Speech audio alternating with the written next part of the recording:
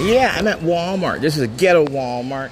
It's at the, it's in a part of Dallas called Pleasant Grove, which is a lie because it's not pleasant. It's violent and it's dangerous. It has a high crime volume and it's not a grove. So everything about that phrase is a lie. I'm going to talk about that video game, Sad Satan, where Sad Satan is a video game.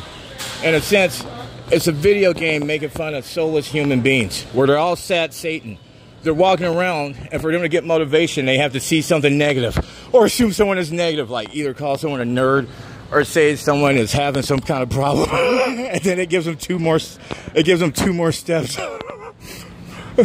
so that video game Sad Satan is basically just about like human NPCs where like Sad Satan would start feeling bad because life is so hard. They don't know how to think right.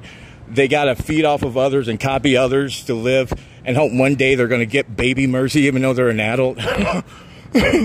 so then they start crying for themselves. And then when they see the world, they have to think others are having problems. Like they would say, hey, look at that guy. if they don't know, they don't know what I'm doing, but then they would say, look at that guy. They're talking out loud. That must mean they having problems. And then that would give them two more seconds to live. That's what. That's the whole point of that video game, Sad Satan. Why? Why it's no objectives or anything, just walking around, and then you keep walking around. Then like you would see like a kid getting molested, or you would see a dead body or something pop up. Because it's just making fun of every soulless human being.